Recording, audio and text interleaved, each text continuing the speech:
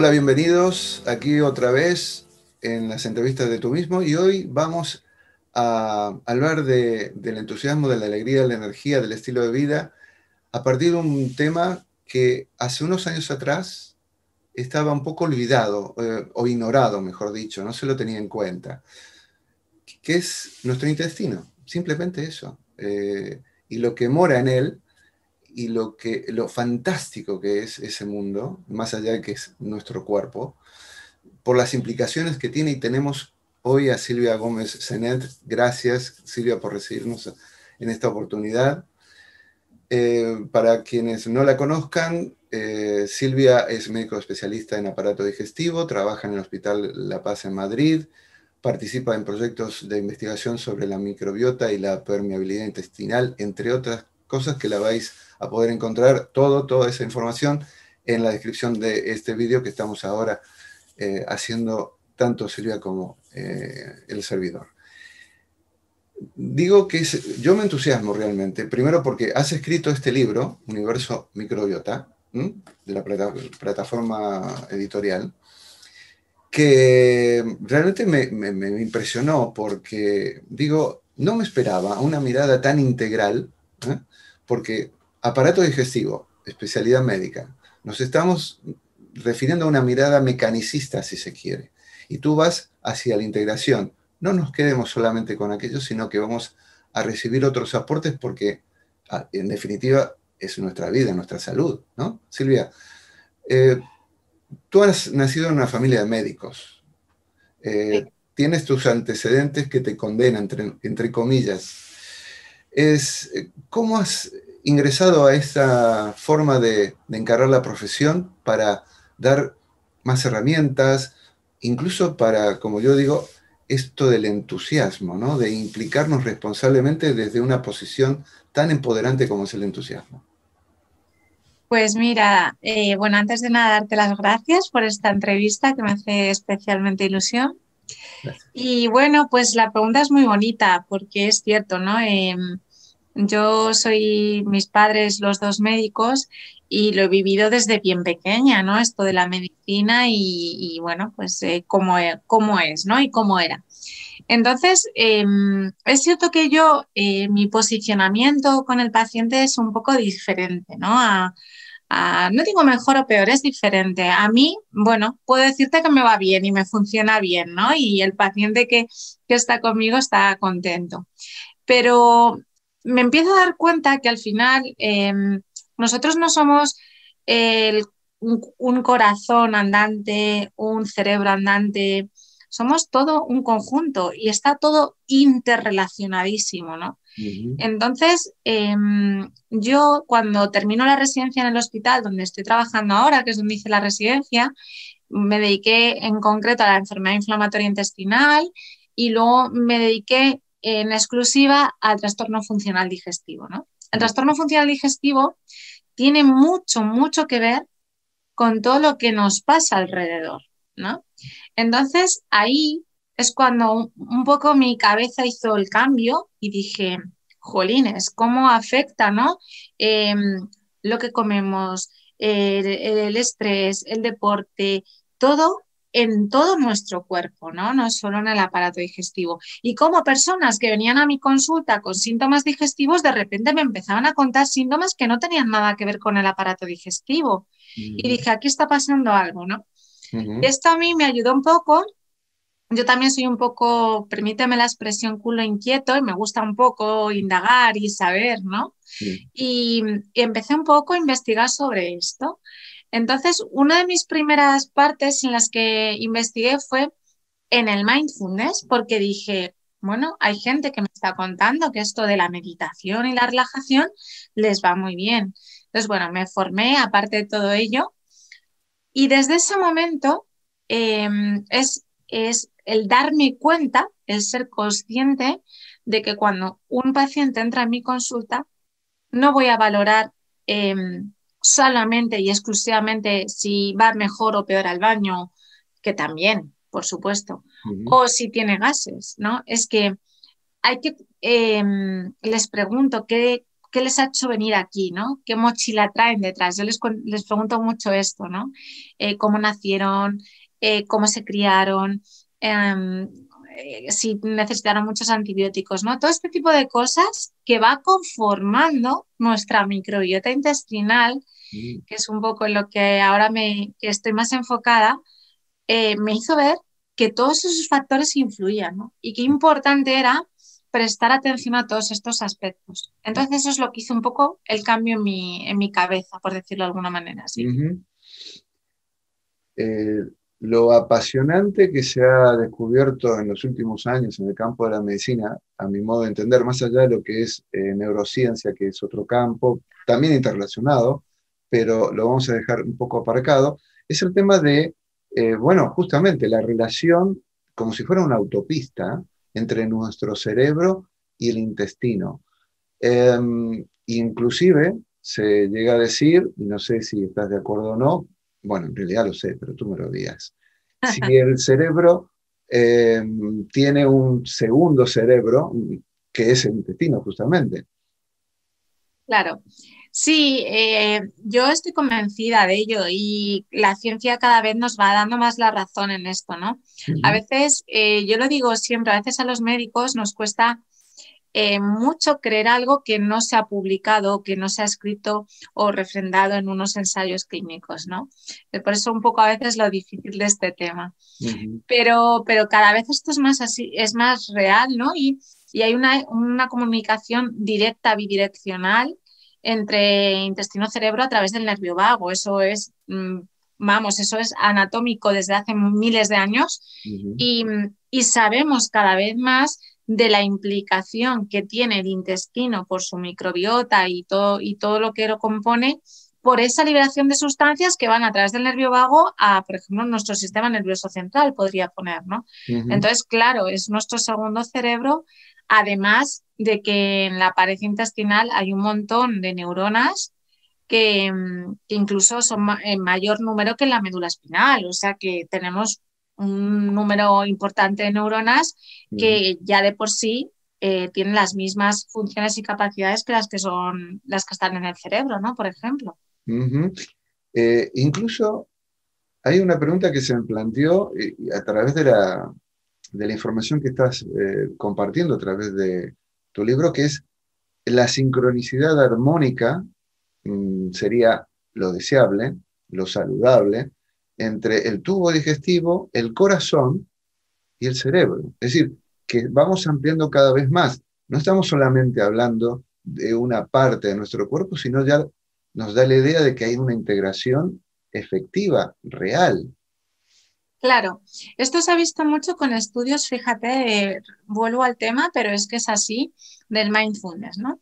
Cuando nosotros empezamos con, a poner foco en nuestra respiración y empezamos a respirar ¿no? de una forma pausada, se ha visto ya en estudios que el corazón empieza también a, a, tener una frecuencia concreta. Y de alguna manera, bueno, esto se llama coherencia cardíaca. Ahí. Eso es. Entonces es como que el pulmón y el corazón, ¡pum! Se, se, conectan, ¿no?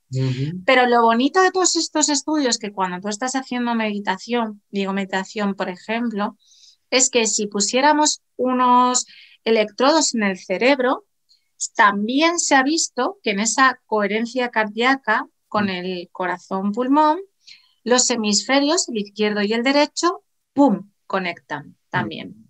Y además, en un estudio también muy bonito, que por la parte que además a mí me toca, se pusieron unos electrodos en el intestino. Y se vio que todas las ondas un poco de frecuencia a nivel respiratorio, cardiológico, iban acompasadas a nivel de motilidad digestiva, ¿no? Entonces, esto yo creo que resume un poco yo creo que ya podríamos terminar, ¿no? De, como decir, ya está. Pues efectivamente, es que somos todo uno, ¿no? Eh, qué importancia cerebro, corazón, pulmón, intestino. Bien, pero eh, hay algo, em, nos vamos a enfocar eh, en un concepto también muy interesante que compartes, que es, y lo pongo en signo de interrogación, muchas, la mayoría de las enfermedades podríamos decir y ahí hay una pista que comienzan en el intestino. Mira, em, hay enfermedades eh, que todavía no sabemos qué es antes, si el huevo o la gallina, ¿no? Por decirlo de alguna manera. Interesante. Pero em, eh, lo cuento en el libro y mm, a mí me, esto me pareció apasionante y creo que los, las cosas van a ir por ahí, un poquito más adelante cuando investiguemos. Con la enfermedad de Parkinson, sabemos que muchos pacientes con enfermedad de Parkinson, antes de debutar con la propia enfermedad neurológica como tal, debutan con síntomas digestivos, empiezan con estreñimiento, con malestares y demás. Bien, pues es verdad que el diagnóstico de enfermedad de Parkinson es un diagnóstico clínico. A nadie se le hace una biopsia cerebral para ver si tiene Parkinson o no. Em, se comprobó esto, a mí me, llamó poderosamente la atención que em, lo que produce el Parkinson, que es un acúmulo de una proteína en las neuronas cerebrales, no solo se vieron en las neuronas cerebrales ese acúmulo de proteínas que lo que hace es que disminuye la dopamina y hace que esos movimientos que tiene el paciente con Parkinson, pues en las neuronas estas que hemos hablado del, intestino también tenían ese depósito de, esa proteína. Pero lo más bonito de todo, que es lo que ahí ya te está diciendo efectivamente que hay una relación ¿no? de intestino-cerebro claramente, que la proteína que estaba acumulada en las neuronas del intestino era más antigua que la proteína del sistema nervioso central. Por tanto, empezaron a decir que probablemente el Parkinson empezará antes en el intestino que no en el cerebro.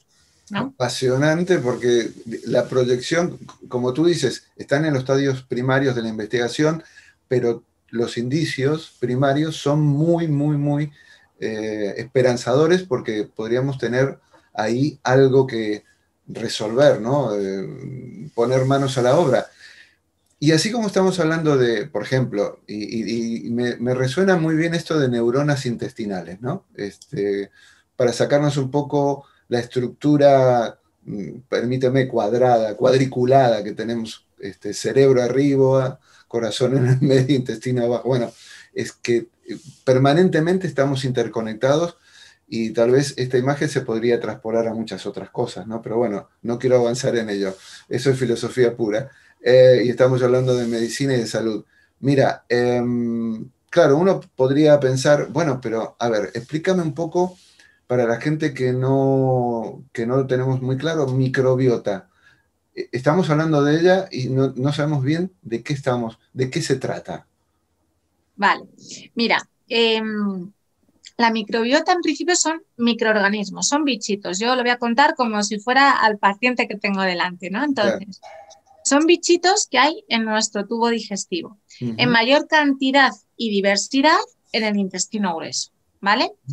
Eh, hasta hace relativamente poco, hasta el año 1980 y algo, eh, cuando nosotros queríamos analizar los bichitos que había en nuestro intestino, lo que nos salía eran mm, bichitos que producían enfermedad. ¿Por qué?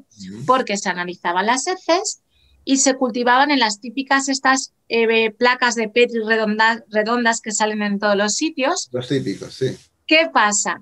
Que los bichitos que ahí crecían eran los bichitos que podían crecer cuando había oxígeno. Y mm. justamente esos coincidían con los bichitos que producen enfermedad, como puede ser la pseudomona, el clostridium, bichos que a priori a la sociedad le daba la sensación que lo que nos habitaba ahí dentro eran microorganismos malos. Pero en 1900 y pico, cuando salió la técnica de PCR, que es para ver una parte genética directamente, pues es cuando empezó la microbiota a emerger. ¿Por qué? Porque se empezó a ver que realmente ahí no solo teníamos bichitos malos, teníamos bichitos un poquito malos y unos muy, muy buenos.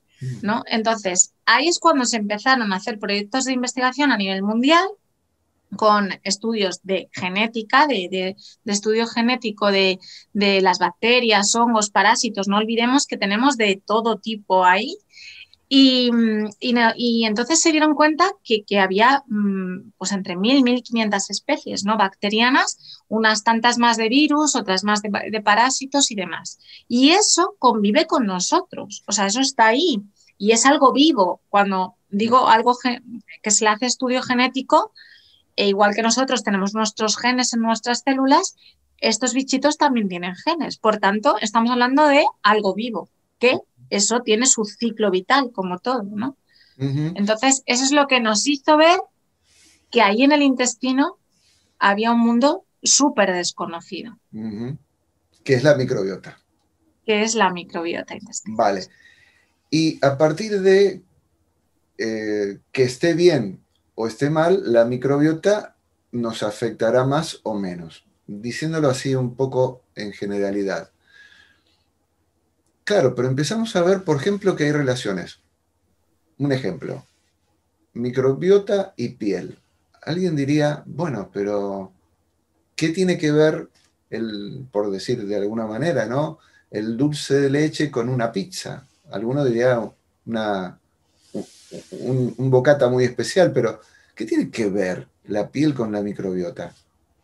Pues mira, tiene que ver por varios motivos, porque yo esto lo, lo, defiendo mucho en mi día a día profesional, porque cuando hablo de microbiota, es verdad que el término de microbiota es como, wow, microbiota, mm. pero realmente la microbiota vive en nuestra pared, ¿vale? Eh, hablo de intestino porque es donde hay más cantidad, me voy a dedicar solo a eso, ¿no? Nuestra pared. Vive en unos nichos concretos, vive aposentada en un moco, vive em, sobre unos ladrillos que llamo yo que son las células intestinales. Mm. Entonces, ¿qué problema tenemos? Que nosotros podemos tener la microbiota desequilibrada, ¿vale? Eso manda unas señales, pues porque está todo interconectado, como decimos. Esas señales atraviesan las células de esa pared intestinal a través de, unos receptores, de una serie de moléculas, y nuestro intestino, además de eso, es un intestino poroso, permeable, que es un concepto también que es importantísimo en esto que estamos tratando, las bacterias que predominen, que si en ese caso son más malas, por decirlo de alguna manera, y el intestino es más poroso, las sustancias pasan a la sangre y de la sangre van a otras partes de nuestro cuerpo. De ahí a que lo que yo decía al principio, que nos encontramos personas que tienen síntomas como una diarrea, pero a lo mejor te cuentan que les duele las articulaciones. Mm. Esto es precisamente por eso, porque la pared del intestino es deficitaria no solo en microbiota, sino en que las células que forman, conforman esa pared, no están bien juntitas, en el libro lo pongo como un cemento, no tienen un buen cemento y hay filtraciones. Y entonces, igual que se filtra el agua en nuestras casas, se filtran las sustancias de esa microbiota no tan buena pasa a la sangre, que no debería de pasar, y va a otras partes del cuerpo. Y de ahí que perjudica la piel y lo que venga. Me estás a la piel. de, no sé por qué me vino, de repente me resonó la palabra fibromialgia. Pero Eso es. Eh, fíjate, estamos hablando, comenzaste con el tema del Parkinson y Alzheimer. Eh, ahora te pregunté por la piel, claro, eh, estamos viendo que podría ser también, y nos vamos extendiendo, nos vamos, y, claro, estamos viendo, por ejemplo, lo que me preocuparía es que afectara, por ejemplo, a nuestro sistema inmunitario o inmunológico, sistema inmune. En tiempos como los que corremos y donde el sistema inmunológico tiene un papel preponderante, porque hay un agente externo que se supone que nos daña y bastante, eh, eh, nuestra línea de defensa es el sistema inmunológico y la microbiota tiene mucho que ver. Claro, pero tiene mucho que ver por dos motivos. Uno, porque hay un grupo concreto de microbiota que se encarga de liberar sustancias que estimulan nuestro sistema inmune, que si ya esa, esa, parte de microbiota la tenemos mal, ya nos está fallando la primera línea de ataque. Y dos, porque en esa pared intestinal, que aparte de, microbiota, de células, de moco, de esas neuronas que hemos dicho, también hay un sistema inmune local. Me explico. Si en el momento en que esa pared se rompe, se daña porque, por la microbiota, por cualquier otro motivo, el sistema inmune que hay en el intestino de primeras lo intenta atacar y lo intenta contener, pero llega a un punto que no puede. Mm. Si llega a ese punto que no puede, da señales al sistema inmune general y ahí es cuando tenemos enfermedades de tipo autoinmune. Claro. Que por eso hay tanta relación con la enfermedad autoinmune y el sistema intestinal. Wow, impresionante. No sé, los amigos que nos estarán escuchando dirán, bueno, pero esto es un universo. Es decir, eso es la palabra, es un universo, universo. El universo microbiota. Bien, y ya que decimos lo que le pasa a la microbiota cuando no, está en, un equilibrio natural, digamos, homeostasis eh, microbiótico, eh, ¿qué, es lo que afecta? Tú hablas mucho del estilo de vida. Eso eh, es. Eso es muy interesante. Claro, o sea, al final em, el estilo de vida es, fundamental. Yo cuando viene alguien a, mi consulta, eh, yo doy mucho papel al paciente, porque creo que el primer responsable de nuestra salud somos nosotros mismos. Sin duda. Y nosotros, quizá los médicos somos, aparte de, bueno, diagnosticar y todo esto que ¿no? se nos da como hecho ya, tenemos que dar herramientas al paciente para saber manejar esto, ¿no? Y entre ellas es el estilo de vida. O sea, sabemos a ciencia cierta ya que la microbiota se altera por distintos tipos de alimentación. La gestión o no que tengamos del estrés. No que tengamos más o menos porque eso no va a depender de nosotros. Es decir, que venga un COVID o que venga un terremoto no va a depender. Pero cómo lo gestionemos sí que tiene mucho que decir. El ejercicio, que es algo, o sea, hablo cosas como que son muy de sentido común, pero que es una realidad, ¿no? Em, las relaciones sociales. Se han visto en grandes estudios y muy, muy bonitos que el, el relacionarnos con personas, el escuchar, el ver otros puntos de vista, todo eso hace cambiar también nuestra microbiota. ¿no? olvidemos que son seres, seres, no, son microorganismos vivos, ¿vale? Entonces, eso también afecta. Entonces, mientras todo este tipo de cosas las hagamos de una manera saludable, nuestra microbiota va a estar mucho mejor. Hay algo que me llama mucho la atención y a ver si me lo puedes aclarar. ¿Cómo un medicamento, mm, vamos a decir el omeprazol, ¿no? Eh, que es para acidosis estomacal, la acidosis estomacal es precisamente algo, un factor que daña a la permeabilidad intestinal, que es justamente lo que tú has explicado, esto de lo que entra, lo que sale, los intersticios, la, bueno, eso es permeabilidad intestinal. Entonces hay una paradoja ahí, ¿no? Desde el punto de vista eh, de la, del tratamiento. Sí, porque a ver, el, por ejemplo, hay muchos tratamientos, ¿eh? no solo los antiácidos o los omeprazoles, por decirlo así. ¿Qué es lo que pasa? Que nosotros tenemos que pensar que estos bichos viven en un pH concreto en el intestino. ¿Vale? Para normalmente viven en un pH ácido. Muy ácido. ¿Vale? Claro. Mm. Si nosotros damos antiácidos, pues ya sabemos lo que va a pasar. El pH se alcaliniza y esa microbiota que convive con nosotros, pero que está contenida por la microbiota más buena, por decirlo de alguna manera, en cuanto cambia el pH, la mala empieza a subir y nos empieza a dar problemas.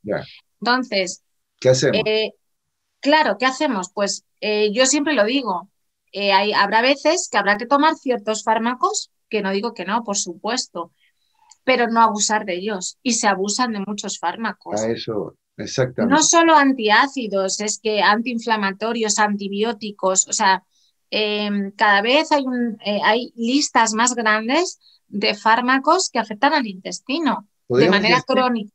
Podríamos decir que entonces eh, la ayuda del, fármaco es limitada en cantidad y en el tiempo, y hay que hacer mucho hincapié, mucho hincapié en los factores que decías antes, es decir, la alimentación, el ejercicio físico, yo no sé si estás de acuerdo, la calidad del sueño, el tema de, mm, las relaciones, eh, situaciones em, que requieren, por ejemplo, que no digo necesariamente, pero que tomes las cosas con más calma y si haces mindfulness o meditación, bienvenido sea. Digamos, cosas que son mm, no son simples, pero sí cuestan mucho menos dinero que un fármaco, ¿no? Y son más accesibles, más inmediatas. Claro, pero nos cuesta mucho más porque mm. em, cuando al final nosotros le decimos al otro que tienen que hacer esto, esto, esto, supone incluir un hábito en tu vida. Claro. Y eso requiere un esfuerzo. Mm. Sin embargo, el tomarte una pastilla es algo como muy sencillo. Qué paradójico. Creo en la magia de la píldora, pero no me esfuerzo en algo tan natural. Pero esto, pero esto, pero esto pasa mucho, ¿eh? O sea, mucha gente viene al médico a dame la pastilla y resuélveme el problema. Pero no me cuentes o no me plantees, em, cambia la alimentación, haz meditación, haz ejercicio. Esto eh, cuesta más. ¿Y del ayuno qué piensas? Esto que se ha puesto de moda en algunos ambientes en los últimos años, ¿no? El ayuno, el ayuno intermitente, bueno, etcétera, etcétera. ¿Qué, qué, nos puedes comentar? Mira, en, en, personas, vamos a hablar personas sanas. En personas sanas que quieran hacer un ayuno intermitente, el ayuno intermitente es bueno, ¿vale? Se ha visto que tiene unos beneficios para nuestra salud. Eh, pues porque de alguna manera hace mm, descansar a nuestras células, a nuestra microbiota en general, a todo, ¿vale? Hay distintos tipos... Eh, ¿En qué consistiría el, ayuno intermitente? Claro, hay distintos tipos de ayunos, hay modalidades de todo tipo. Hay el ayuno este de 24 horas, ayuno de, de estar 8 horas y no, el que más beneficios se han visto es el ayuno entre 14 y 16 horas. Es decir, si nos ponemos un poco simplistas, es cenar como a las 7, 8 de la tarde y desayunar como a las 10, 10 y media, 11 de la mañana. ¿Vale? Eso ya estás haciendo ahí un ayuno. ¿Vale? Aunque parezca que no, lo estás haciendo, estás dando ahí un... Ese descanso se ha visto y se ha relacionado con mejora en, obesidad, en diabetes, en, muchas cosas que, bueno, que, al principio nadie, ¿quién iba a pensar que, algo así podría resolvernos ciertos problemas, ¿no? Es verdad que hay personas que a lo mejor tienen un problema más digestivo, más propiamente digestivo, a lo mejor el ayuno no les conviene, ¿no? Pero esto eh, hay que verlo de forma particular. Pero en una persona sana en principio, hacer ese, esto que acabo de decir saludable. ¿Se puede recuperar el equilibrio intestinal? Porque leyendo eh, el relato que tú haces a través de dos personajes muy simpáticos, eh, Marta y Roberto, entre nosotros, ¿existe esta pareja? ¿O, es, no, no. tu ficción? Vale, vale, muy bien. No, no, la pareja, la pareja no. La, paciente sí que existe, pero no, no. La pareja no, pero me pareció un hilo muy fácil mm, que sirviera de conducción para explicar todo lo demás. Sí, sí. Fantástico. Eh, como relato está muy logrado.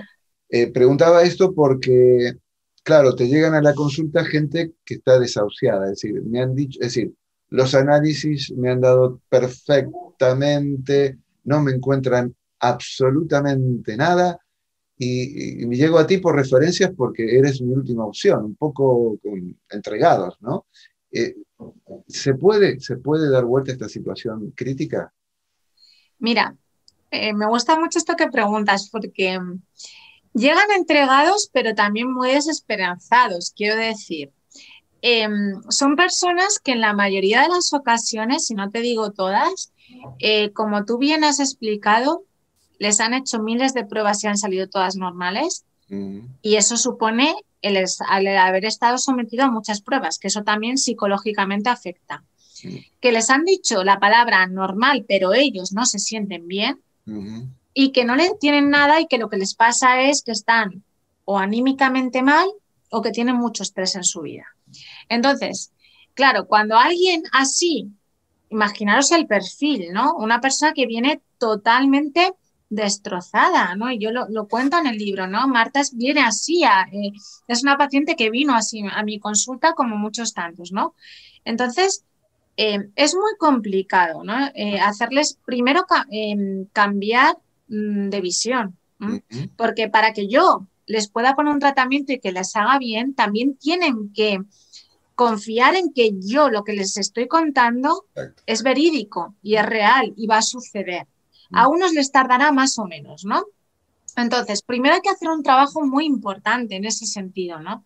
O sea, que tu, no sé, tu colonoscopia haya salido normal, ¿no? Que hayamos entrado por el ano y no hayamos visto nada, no quiere decir que tú no tengas diarreas, te encuentres mal, hayas perdido peso, porque eso está nada más verte. Esto si lo haces, lo explicas y, y lo comprenden, ya tienes mucho ganado para el paciente y mucha confianza depositada en ti. Y luego me dices, ¿y esto se puede revertir? Se puede revertir. Eso es lo mágico de esto.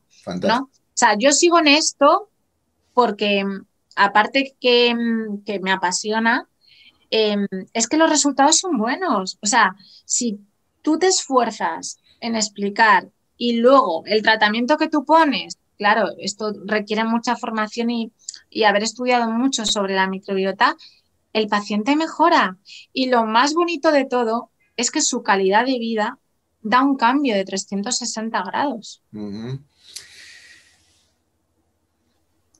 Mira, eh, yo conocía los pre y los probióticos, pero claro, leyéndote simbióticos, posbióticos, ya no sabía dónde meterme. Porque digo, aquí como que me dan mucha información, ¿con qué me quedo de todo esto? Pues mira, cada, cada, cada producto tiene su, eh, su, fin, por decirlo de alguna manera, ¿no? El probiótico, para quien no lo sepa, es bacterias vivas que las pone la, la, industria farmacéutica o en cápsulas o en sobres o en lo que consideren y tienen que estar lo suficientemente bien acondicionadas para que lleguen a nuestro intestino. Eso es un punto importante, ¿vale? Porque voy a decir algo políticamente incorrecto. tenemos, muchos probióticos, pero no todos sirven. Y no todos sirven para lo mismo. Eso es una cosa que luego, si quieres, aclaramos.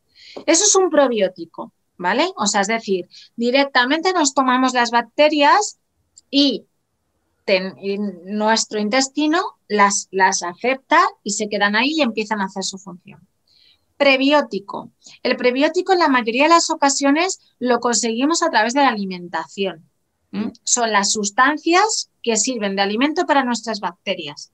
Entonces, si hacemos una alimentación, de ahí que sea tan importante, eh, mediterránea, si es que no hace falta hacer una alimentación demasiado estrafalaria, eh, se ha visto que la dieta mediterránea puede eh, hacernos tener una microbiota diversa, muy, muy diversa y muy, y muy, y muy beneficiosa. ¿no?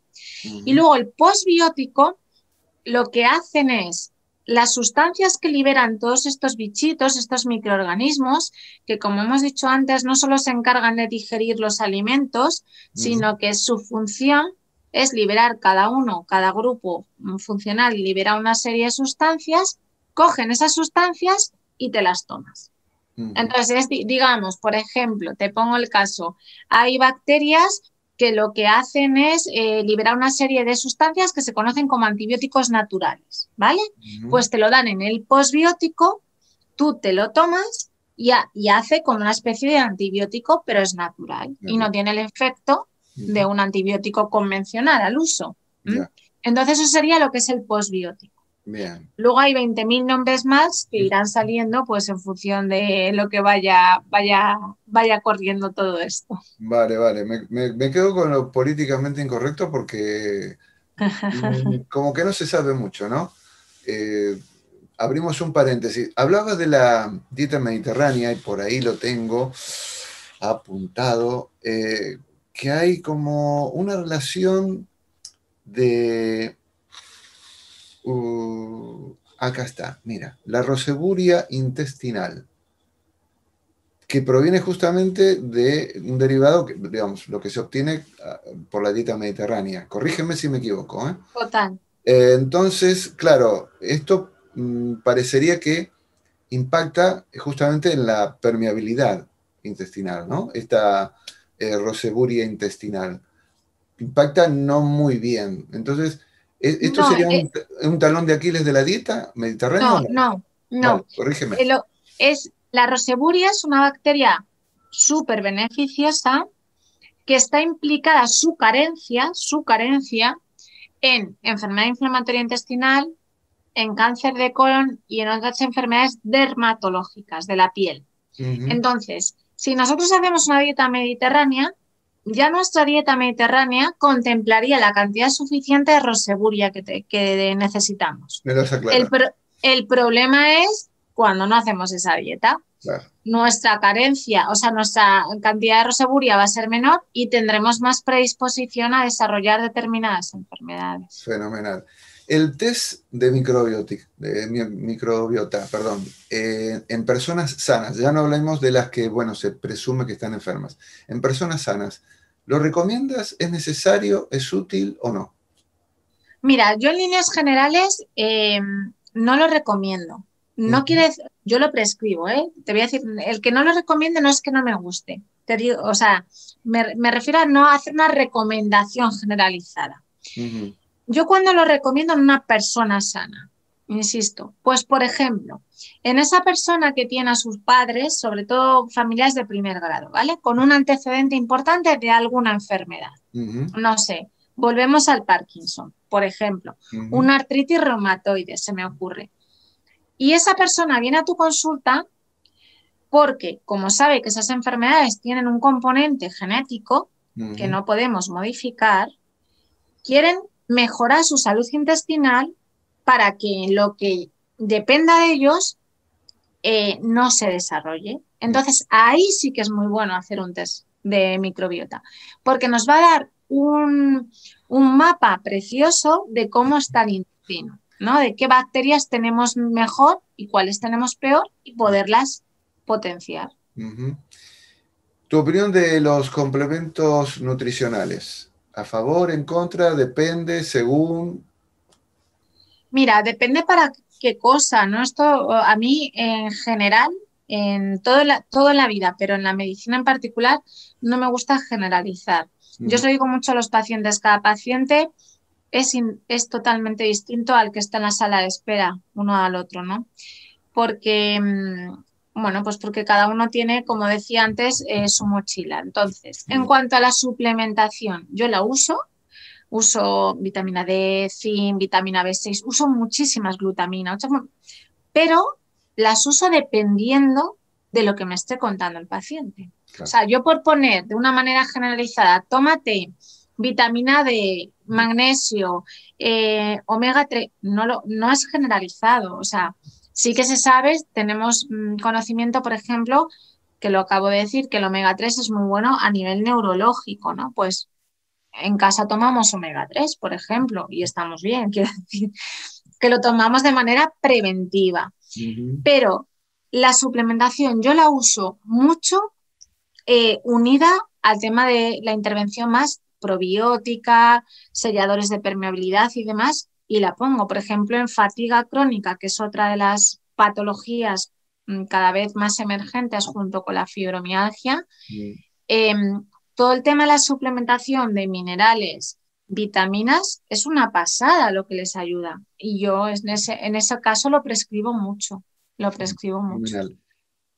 Em, lo que te voy a preguntar era lo que yo tenía planeado preguntarte al comienzo, pero creo que va a ser el colofón, porque Estamos viviendo una sociedad donde se tira más eh, hacia las personas jóvenes que los ancianos, ¿no? En general, digamos, que nadie se ofenda, pero es una, estamos viviendo una sociedad de consumo que vende decididamente a un mercado de jóvenes. Y nos olvidamos de los que somos mayores, ¿no? Entonces, eh, claro, cuando vi que empezaba justamente con el tema del envejecimiento, y esto lo tenemos que ver desde jóvenes, porque si tú quieres llegar a largo plazo y en buenas condiciones, cuanto antes empieces a cuidar tu coche, mucho mejor. Eh, aviso a navegantes, ¿no? Em, entonces, ¿qué tiene que ver todo lo que hemos hablado con el envejecimiento? Inclusive, ¿se puede ralentizar? Claro. Mira, eh, tiene muchísimo que ver. Em, se ha visto, hay muchas teorías sobre el envejecimiento y demás. La que está más en boga es una que tiene un concepto que yo también lo trato en el libro, que es el inflamaging, ¿no? Que es, la inflamación que se produce a nivel de nuestro cuerpo y esa inflamación crónica va produciendo esas, esos defectillos que vamos teniendo a medida que cumplimos años, cardiológicos, neurológicos y demás. Claro, em, nosotros eso lo podemos modificar. Antiguamente este, esta parte del envejecimiento se veía como que uno eh, iba a ser más mayor dependiendo de si su abuelo eh, se había muerto con 100 años, ¿no? Esto era un poco la idea que teníamos. Ahora se está viendo que hay factores que si nosotros los, los modificamos, podemos llegar a más mayores y con buena calidad de vida, que al final es lo importante, porque a mí me da igual llegar a los 90, pero esto tal. Entonces, eh, esa inflamación, lo que viene a decirnos y en lo que se relaciona con la microbiota es que eh, toda la salud digestiva, como hemos dicho al final, la pared intestinal es un coladero de cosas. Si no está bien, es una pared que deja pasar cualquier cosa. Y en ese pasar cualquier cosa, se el sistema inmune empieza a atacar, a defenderse. Y en ese ataque, para simplificarlo todo, se produce una pequeña inflamación, que al principio, como he dicho antes, se contiene, pero si esto se sigue manteniendo en el tiempo, hacemos una alimentación como queremos, no hacemos unos hábitos de vida, esa inflamación se extiende a todo nuestro cuerpo y podemos tener un infarto a los 40. Podemos tener eh, una enfermedad de Alzheimer con 50, eh, ¿no? Entonces, va todo muy relacionado, ¿no? Entonces, si nosotros desde, como bien dices, desde jóvenes sabemos, y vuelvo a decir, ¿no? La importancia de que no depende de nosotros nuestra salud en gran medida. Hay parte que, insisto, que no la vamos a poder modificar. Es que eso es un, es, tenemos un tesoro en nuestras manos tenemos un tesoro. Entonces, claro, eh, si nuestra salud digestiva es buena, eh, nos podemos asegurar que nuestro envejecimiento va a ser mucho mejor. De hecho, em, en el libro lo cuento porque a mí es algo que me gustó mucho cuando lo leí, que es esto de las cinco zonas azules, ¿no? De que hay en el mundo, que son las cinco zonas más longevas y demás.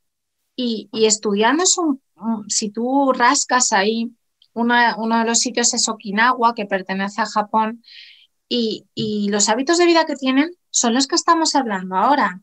Es la alimentación, el ejercicio, las relaciones sociales y bueno, vivir en un, en un, entorno más rural, quizá, ¿no? Por el ambiente. Pero dentro de la alimentación, ellos hablan de una cosa, usan una palabra japonesa que no me la sé, pero ellos lo que dicen, que es muy curioso, es em, come hasta, o sea, come hasta el punto de que no te sacies, ¿no? Es decir, nosotros muchas veces en nuestra cultura tendemos a comer y da igual, no tenemos a veces fin, ¿no? Esto va un poco en la línea de lo que estamos hablando, o lo que hemos hablado del ayuno intermitente, ¿no? Al final, nuestro cuerpo es muy sabio, nuestro cuerpo necesita reposo, necesita descanso, ¿no? Y estas personas que hacen todas estas cosas, se ha visto que viven muchos años, pero es que encima viven de una manera maravillosa, sin tener enfermedades, ¿no? Tenemos que tener su ejemplo. Sí, sí, eh, una palabra japonesa que la mencionas tú también, que es eh, el ikigai, ¿no? El ikigai, nuestro eh, propósito de vida. El secreto de los habitantes de Okinawa. Eso Una de esas zonas azules. Em, mira, tu libro, que lo volvemos a presentar aquí, para aquellos que no se han enterado todavía, Universo Microbiota, es Em, bueno, está pleno de información técnica, te lo comentaba previamente, todo documentado, es decir, eh, información contrastada, eh, de última generación en estudios, ensayos y demás, eh, muy recientes en la investigación. Y cómo integras, y que no hemos este, hablado mucho, pero más que nada para que aquel que nos está escuchando y viendo en este momento Em, le resonara esto de, bueno, el, estilo de vida, mindfulness, eh, ser responsable en el cuidado de tu propia salud, eres un actor activo, eh, que es la definición más absoluta, ¿no? No hay nadie que pueda cuidarte mejor que tú mismo, ¿no? Em, ¿Qué decirte, Silvia? No sé si ha quedado algo por decir. Yo, por mi parte, encantado de la vida, me has dado muchas pistas y, y eres realmente una docente, más allá de tus títulos y de tu formación, que lo has compartido perfectamente y ojalá la gente pueda eh, aprovechar esto, ¿no? Realmente. No sé. Mira, yo, yo y Aurelio una cosa que diría que me da mucha pena, ¿no? Porque lo veo mucho en las consultas que, que es esto el tema de como la microbiota está de moda, los que llevamos ya muchos años trabajando en esto, ¿no? Pues como toda en la vida hay gente que se engancha al, carro de las modas, ¿no? Em, y con el tema este que te decía antes de los probióticos, me da mucha pena porque mm, como no están sujetos a prescripción médica, es decir, tú puedes ir y pedir un probiótico y te dan un probiótico para mejorar tu salud digestiva. Em, eso nos hace mucho mal, porque realmente insisto que eh, no todos los probióticos sirven y que no sirven para todo. Entonces, hay gente que se toma un probiótico pensando, y es natural, que le va a beneficiar y luego no mejoran. Y eso encima ya, añadido a esa frustración que traen de, ese malestar, de que les han dicho que está todo fatal, eh, si encima toman cosas que, en principio, bueno, pues las recomienda, no lo sé, quien sea, con buena voluntad, eh, yo siempre lo que recomiendo es que el tema de los probióticos, aunque no estén sujetos a prescripción, que te los mm, recomiende y te los diga alguien que sea especialista en esto. Porque siempre vamos a encontrar un probiótico, es decir, una cepa, con, o sea, una bacteria con sus dos apellidos que tiene su fin por ejemplo, en el estreñimiento o en el autismo o en la depresión. Pero esa cepa que sirve para la depresión no te va a servir para la artritis, ¿no? Y esto eh, la gente lo tiene que saber, ¿no? Al final vamos a veces eh, a comprar un probiótico y creemos que nos va a resolver todo el problema, pero es que a lo mejor estamos pidiendo un probiótico equivocado, ¿no? Y esto lo veo muchísimo en la consulta y me da mucha lástima porque hay poca información sobre este aspecto. Y bueno, también el libro, que como tú bien dices, tiene mucha parte técnica, pues porque he intentado expresar qué enfermedades eh, tienen una relación con determinados probióticos y qué evidencia tienen esos probióticos para esas enfermedades, para que si alguno una vez se quiere comprar un probiótico, yo qué sé, porque se va de viaje a un país tropical y no tener diarrea, pues que hay unas cepas concretas de bacterias que te van a ayudar, otras no te van a hacer nada. Esa era un poco también el, mi llamada que hago y que es mi lucha un poco también del día a día. ¿no? Muy bien, dicho está, dicho queda y se recibe de buena manera. Silvia, muchísimas gracias. Nada, eh, información de calidad que argumenta por qué debemos vivir con energía y entusiasmo. Microbiota en este universo microbiota de Silvia Gómez Zenent. Muchas gracias, Silvia. Muchas gracias a ti, Aurelio. Muchísimas gracias. amigos que nos están viendo, bueno, la próxima cita aquí en las entrevistas de turismo. Chao. Adiós.